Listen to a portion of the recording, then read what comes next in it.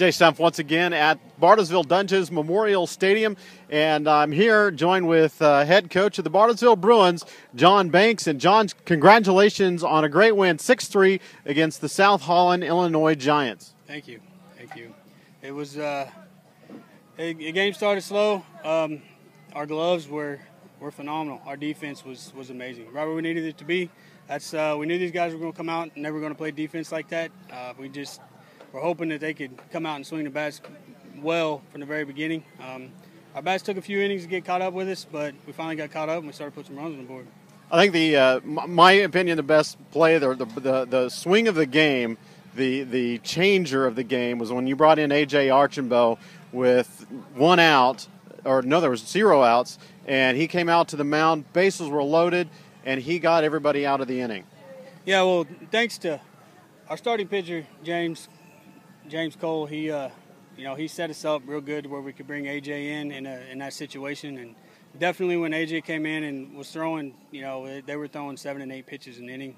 Uh, I think I think James had a seven pitch inning, and then AJ came in and and uh, performed the same way. That uh, that definitely was a game changer when they started shutting them down at the at the plate. Then they started shutting down in their minds. That, that was really that definitely was a turning point in the fifth inning, your bats finally came alive. You finally got to move some players around the, the bases.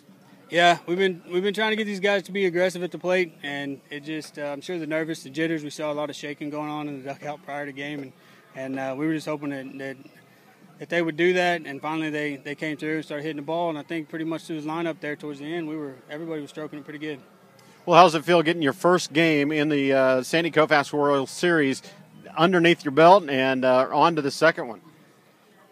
You know, this is uh, it's a great honor to uh, to coach these guys. They they're it's what they can do, and their their baseball IQ is, is amazing. You know, he saw we saw a couple.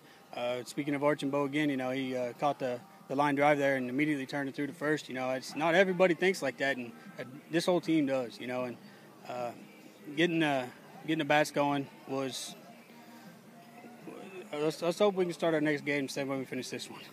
All right. Well, Coach Banks, thank you very much for joining uh, for joining us on the interview. Good luck tomorrow in the next game. Thank you. All right. For the Sandy Koufax World Series, I'm Jay Stumpf.